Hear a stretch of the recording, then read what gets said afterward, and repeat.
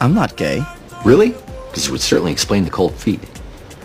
Oh, and the boyfriend. So, you're bisexual? No, I'm straight. Cotter, the guy you met, he's gay. He had a crush on me. I left. After three years? Well, it's possible. Doesn't mean you're gay just because the guy you're sleeping with is. We weren't sleeping together. What's this got to do with anything? Lung tap turned up mononucleosis. ER doesn't routinely test for it. Explains a PE and can be virtually asymptomatic. We got to wondering, how does a 27-year-old get mono? You're a little old for the kissing disease. Unless your immune system is compromised. If there's been any unprotected sex, we'll need to test for HIV. There's been no sex of any kind. Okay. I'll go test your fiance for HIV. Is she the curious sort? Wait. There may have been some contact, but I'm not gay.